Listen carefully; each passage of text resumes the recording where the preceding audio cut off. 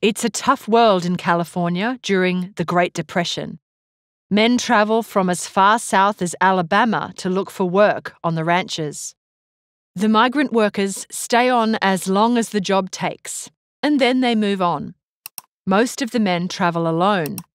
It's a tough gig.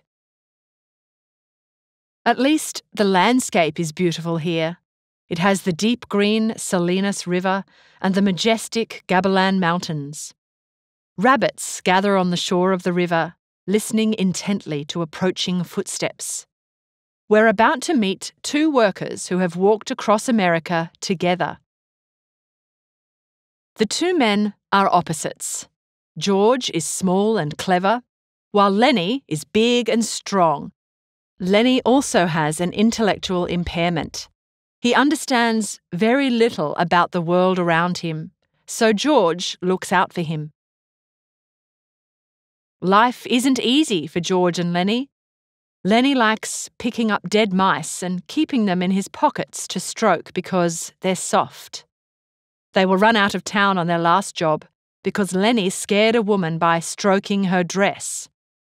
Lennie can't keep a job and often gets in trouble because he's misunderstood. It's a good thing he has George. The friends have a dream that keeps them going to own their own ranch one day.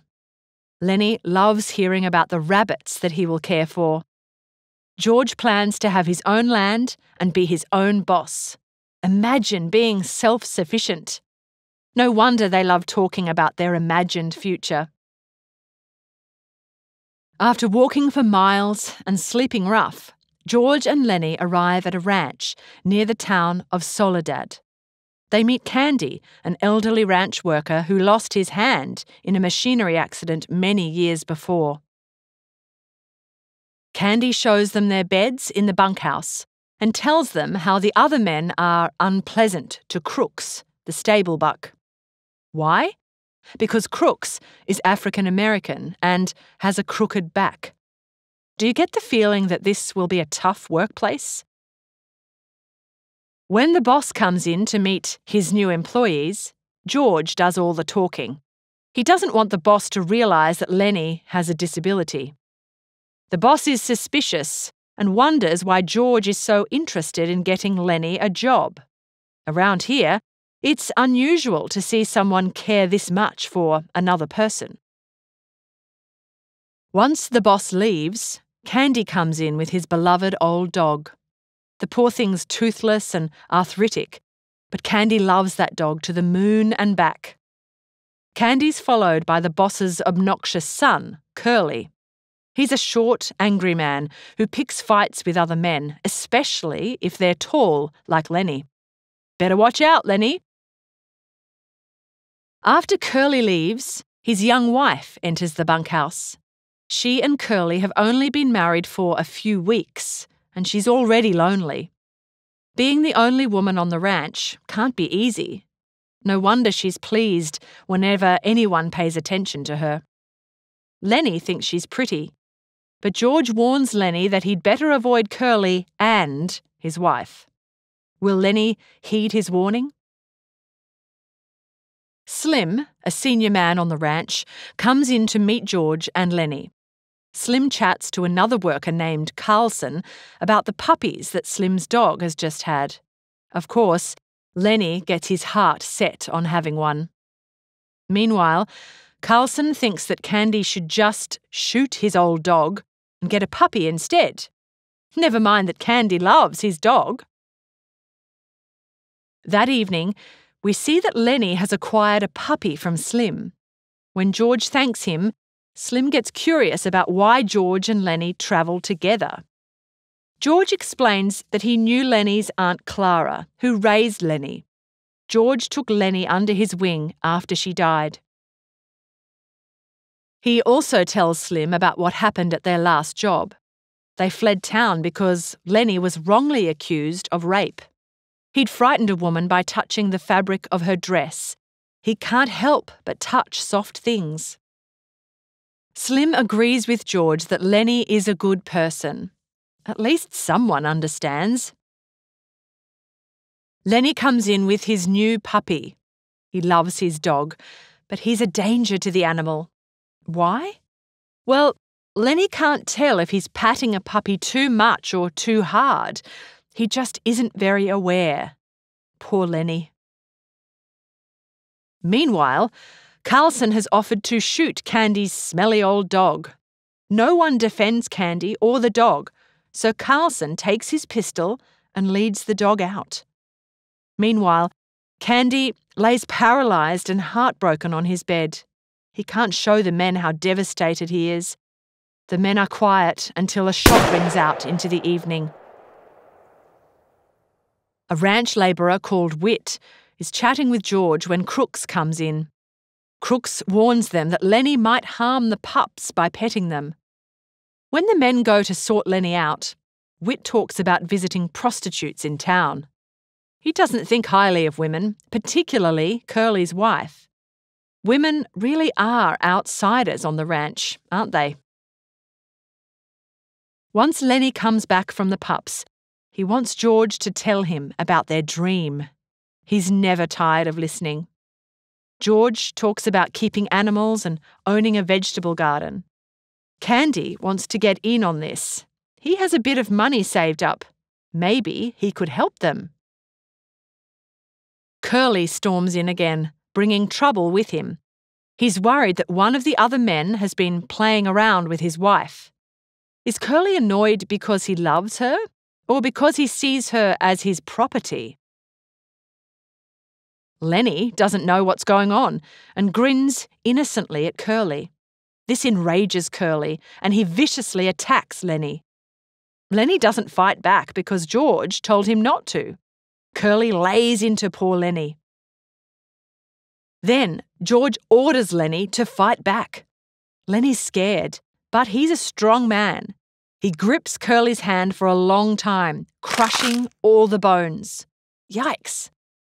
Does it serve Curly right? It's certainly a reminder of Lennie's strength. When the men take Curly to see a doctor, the scene shifts. We're in the stables where Crook sleeps. He's clearly an intelligent man. He reads a dictionary and a legal book in his spare time. It's now Saturday night, and Crooks, Lennie, and Candy are left on the ranch alone. The other men are having a big night out. Lennie wanders into the stable room to see the puppies. Crooks values his privacy and isn't pleased to see Lennie. But Lennie isn't like the other white men who exclude Crooks. Lennie has an innocence about him. Crooks tells Lennie about his childhood and Lennie tells him about the dream of tending to rabbits on a ranch. Candy joins Crooks and Lennie to talk about the dream. There's a moment where Crooks even suggests that maybe he could leave the ranch with them. They're interrupted by Curly's wife. As usual, she's feeling lonely and just wants to talk to someone. But Candy and Crooks both tell her to go away. Do you feel sorry for her? She gets fed up and threatens to get Crooks into trouble. He's probably the only person on the ranch who's treated worse than her. We next see Lennie on Sunday afternoon, cradling his puppy. Sadly, the puppy is dead. Lennie is confused and upset. He doesn't fully understand that he's killed the puppy by over petting it. It's a sad ending for the puppy and heartbreaking for Lennie. He worries that George won't let him take care of the rabbits in future once he knows that he's accidentally killed his own puppy. When Curly's wife comes into the barn again, he starts talking to her. She's friendly to Lennie, so he tells her about the dream of the rabbits. Gee, he loves those rabbits. You'd think they were real. Curly's wife can relate. She likes to have her soft hair stroked. She even invites Lennie to feel her hair. Just like with the puppy, Lennie doesn't know when to stop. He keeps on stroking Curly's wife's hair until she gets alarmed and wants him to let go. They struggle and she screams. Lennie panics and shakes her. He just wants her to stop yelling. Suddenly, her body flops like a fish. Lennie has accidentally broken her neck.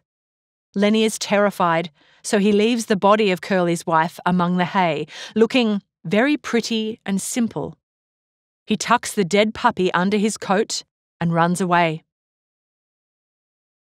Candy finds Curly's wife and tells George.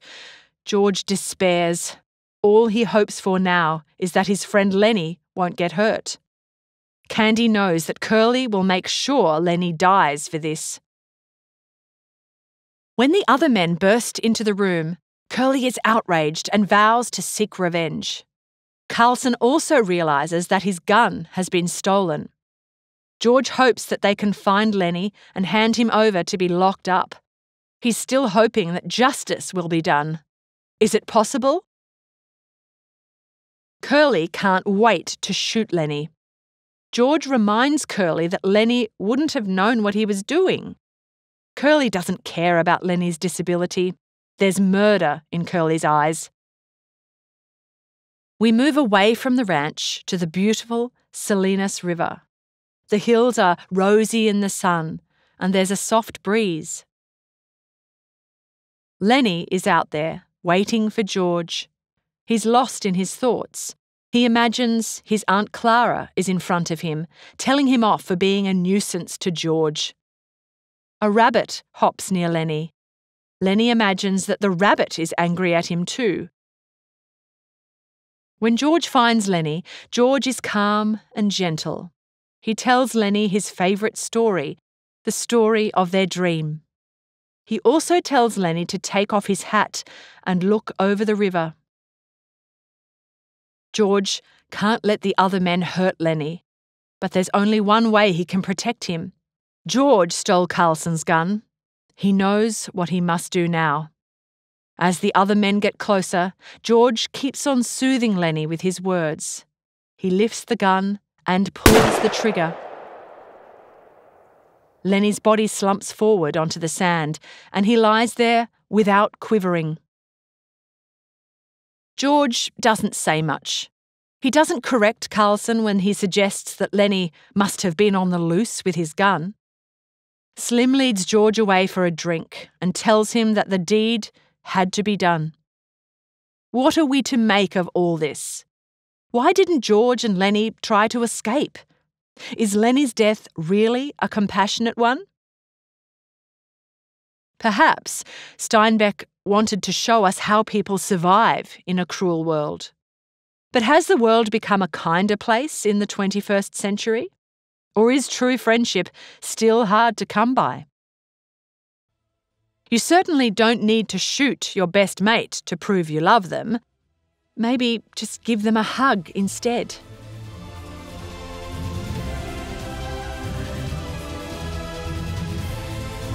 We hope you enjoyed this Schooling Online production. For more easy lessons, check out our other videos.